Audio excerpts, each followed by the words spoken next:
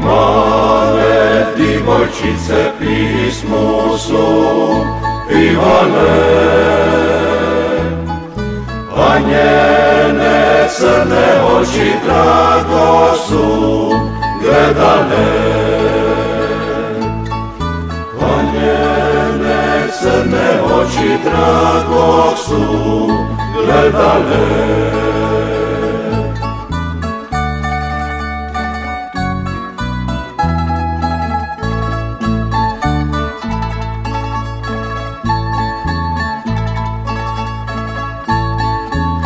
Čija je ono zvizda što tako divno sja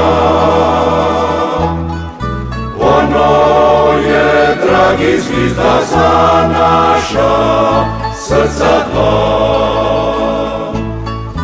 Ono je dragi zvizda za naša srca dva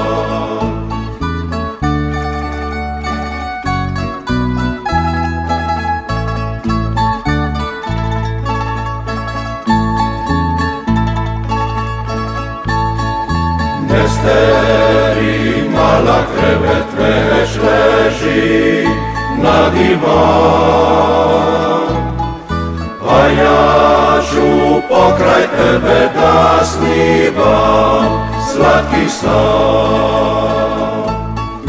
A ja ću pokraj tebe da snivam slatki san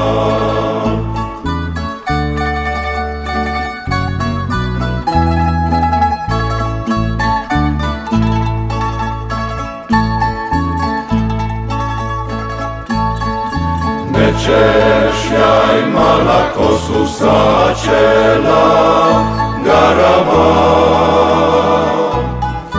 Već podaj bilo lice daj da ga ljubim ja.